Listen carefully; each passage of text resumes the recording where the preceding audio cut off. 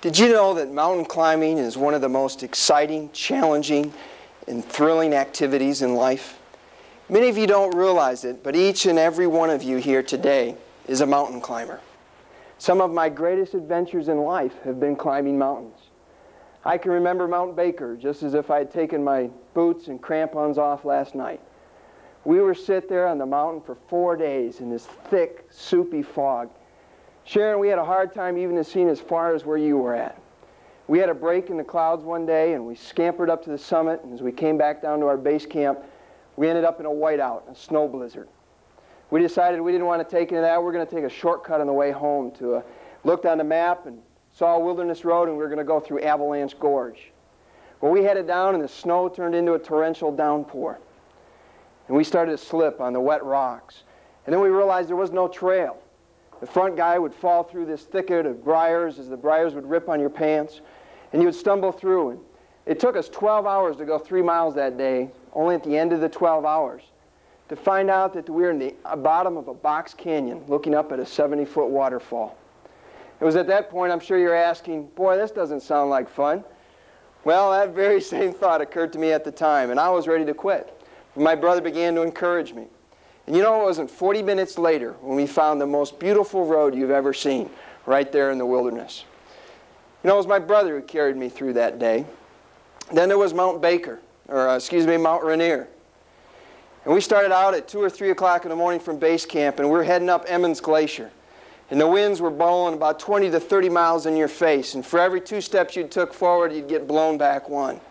And it was snowing, not the white fluffy stuff, but it felt like hail pelting on your face. And other teams of climbers were coming down, and we said it's getting worse. And so we all got together, and we six of us, and we prayed. And we said, God, clear up this storm. And you know, it wasn't 20 minutes later that the storm quieted down. You know, it was God that carried me through that day. And then there was lastly Mount, and we're getting up close to the top, and at 14,000 feet, it's pretty hard to breathe. You're sitting there trying to lean over on your ice axe, trying to breathe in every oxygen molecule that you can find around. And all you're thinking about is, let me crawl back in my sleeping bag. I don't want to go anymore. But then you realize you're roped up to somebody, and everybody's egging you on. You know, it was the faith of my, or the support of my friends that day that carried me. And what an opportunity it was to stand on top of the mountaintop and shout, Hallelujah! Victory! Yes, we did it. You know, and the awesome realization that you're just a little pinprick on the face of the earth. And then you realize that you have to climb all the way back down. But you know, for me, some of the personal challenges that I've had in life have been some of the bigger mountains that I've had to climb. You know, I look back at those, and those were probably the tougher mountains to climb in my life. I remember the mountains of 1989. And One of the mountain of devastation of having to defend my PhD thesis three days before my wedding, only to find out that they wanted me to do two more years' worth of research work. And then it was the shock of waking up as newlyweds only a couple months later at 3 o'clock in the morning to the amazing realization that your house is ablaze in fire. And then, two days later, the disillusionment coming when you receive a phone call that one of your parents had a major brainstem stroke and probably wouldn't walk or talk or even wake up from his coma. Then there were the mountains that I had in 1992. That year, harvesting 250 acres of corn and having to dump every single bushel on the ground because of a cool growing season and early frost that made every kernel unmarketable. That was nothing compared to the other mountain that I had to climb.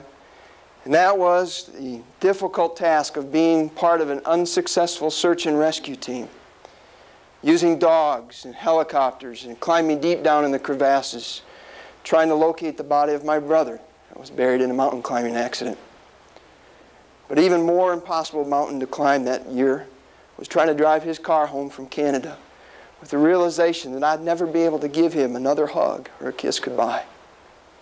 And maybe that was all preparation for the mountains of 1996 and the difficult task of admitting my mother to the hospital with severe congestive heart failure and then having to sit beside the bedside of your loving father in my case was one of my best friends and was truly a gentle giant and to sit by his bedside and to hold his hand as he breathed his last breath of life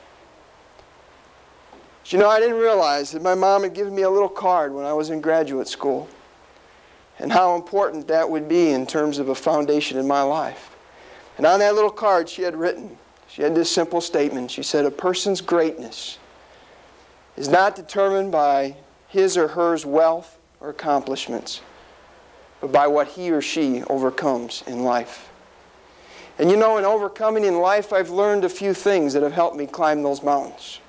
First, I've realized is you never climb alone. There was many times where I thought I was the only one out there climbing that mountain.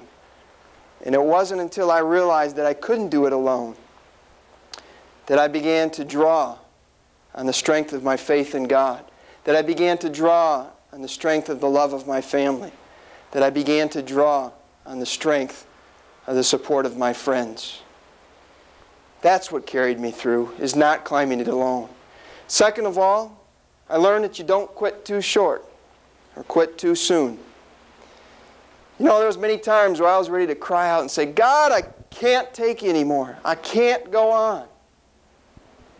But you know, it those times I realized that I didn't want to be that person who stopped just short of finding the road in the wilderness or stopped just short of the storm calming down or stopped just short of reaching the summit, even though the breaths and the steps were hard to take. And then thirdly, that I've realized is that when you're climbing the mountains in life that you need to enjoy the climb and enjoy the view from the summit. You know, it's interesting to tell that out of we climbing on that day, we were only 12 people that made it to the top of Mount Rainier out of 150 people that attempted to summit on that 4th of July weekend. I'm also glad to say that I finished my PhD. The house was rebuilt. My dad was miraculously healed was able to walk and to talk again and had seven more wonderful years with my family. I now farm more acres than I did in 1992. I'm going to be glad to the day when I can be with my brother and my dad in heaven and climb some more mountains together. But we've got to keep pressing on. And maybe you in this room today are facing your own mountains. Maybe it is a Mount Baker or a Mount Rainier or a Mount Shasta. Maybe you find yourself down in the bottom of Avalanche Gorge staring up at a 70 foot waterfall, wondering where can I go from here? But keep the principles in mind. Remember, don't climb alone. That's when you realize that you need to nurture your faith in God, to nurture the love of your family, to nurture the support of your friends. That's what's going to carry you through. Depend on those, not your own strength. The second of all, don't quit too soon. Oftentimes, when you're ready to quit, you don't realize that the breakthrough is just ahead.